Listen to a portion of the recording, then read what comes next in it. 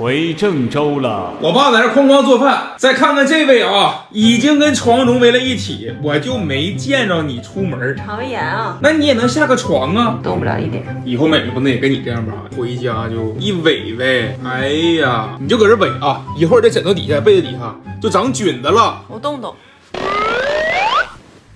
你上边拉去，别在我这边躺着，去回你那边去，动一动吧。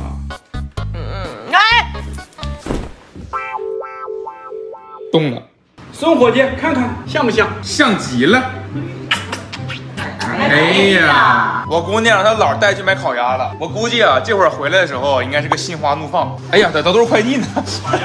烤鸭，哎呦，都干活去了，太辛苦了。烤鸭也来了，马上干烤鸭。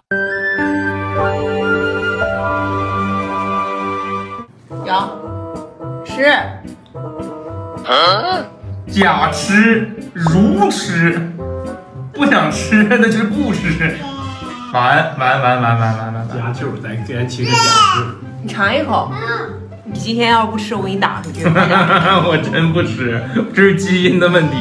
我就羡慕你啊，到现在这哐哐吃啊，鸡汤、虾、烤鸭，我就敢吃一个鸭架，我就生怕。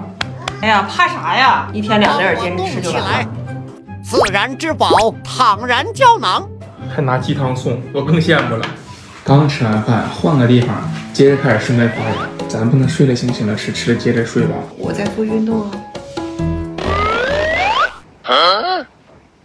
别做了，因为抽筋缺氧的。好看吗？